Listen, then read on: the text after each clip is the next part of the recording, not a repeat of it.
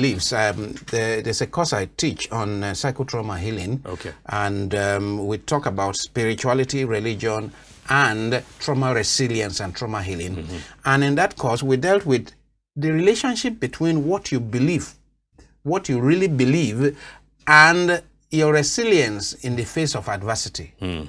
Now, if you believe that life is a terrible thing, um, this is your lot, mm -hmm. uh, you know, when you are stuck with some struck with some adversity, you are not likely to bounce back You're as not. easily as the one who believes that oh that adversity one or that one just one setback I'm going to bounce back because I have some because I,